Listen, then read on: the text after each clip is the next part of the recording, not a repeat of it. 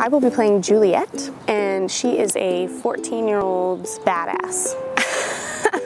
she um, she goes against everything her her society tells her and what's expected of her and what her parents want for her.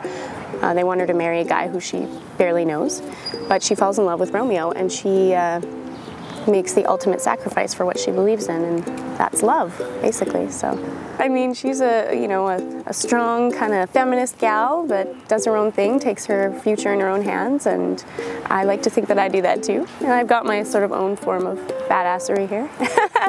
Everyone in my family has ridden a motorcycle at some point, so I kind of got into my blood, and I had to get one for myself. I started off playing piano and violin and guitar when I was when I was younger, and um, I still play that. But ukulele is kind of a newer thing for me that I got into a few years ago. I've started writing songs on the ukulele, and I I got a, a grant from AFA not too long ago to make an album. So I think a few of my ukulele songs will make an appearance on that album.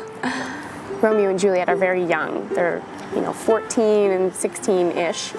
I remember having those kinds of really intense feelings of, you know, kind of obsession or like infatuation. And uh, I guess the first person that I really, you know, thought I was madly in love with was uh, Jamie Sparling in junior high.